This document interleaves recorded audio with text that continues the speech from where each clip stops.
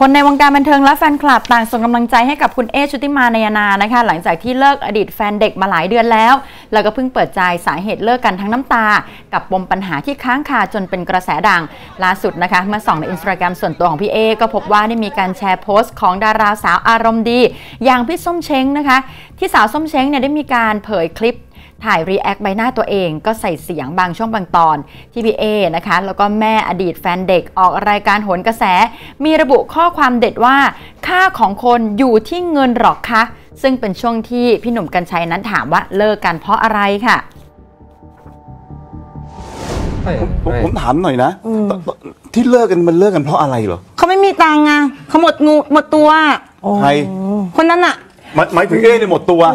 แล้วยังไม่ไงมีตังค์น่ะก็เลยเลิกเหรอ พอไม่มีเงินก็หมดความหมายอย่างนั้นแหละค่ะเหรอคะพอไม่มีเงินก็หมดความหมายอย่างนั้นล่ะค่ะเหรอคะนอกจากนั้นนะคะยังมีคนดังนะคะร่วมวงกันอย่างมากมายเลยนะคะไม่ว่าจะเป็นพี่แอมสวรักษ์ค่ะ ก็ได้มีการเคลื่อนไหวแล้วก็แสดงตัวชัดเลย หลังจากที่เจอมรสุมความรักครั้งใหญ่ อีกทั้งแม่ฟรองนะคะ หลุดปากว่าลูกชายเลิกเอชุติมาเพราะว่าหมดตัวกลางรายการ ซึ่งเธอนั้นก็มีการโพสต์ภาพสวมกอดพี่เอนะคะ แล้วก็ระบุข้อความว่ารักนะแก พวกเราจะเป็นกำลังใจให้ผ่านทุกสิ่งไปด้วยดีโดยไวทุกคนรักแล้วก็เป็นห่วงแกนะน้องรักกอดแน่นๆนะ ส่วนทางพี่แหม่มพัชริดานะคะหนึ่งในสมาชิกสาวสาวๆค่ะ ก็โผล่ tag team นะคะ แล้วก็ tag ไปที่ IG ของพี่แอมเสาวลักษณ์หลังจากที่แม่ฟรองเนี่ยหลุดปากนะ บอกว่าลูกเลิกเอ้เพราะว่าหมดตัว โดยเธอนั้นก็เข้ามาส่งกำลังใจบอกว่ากอดเอ้นะเพื่อน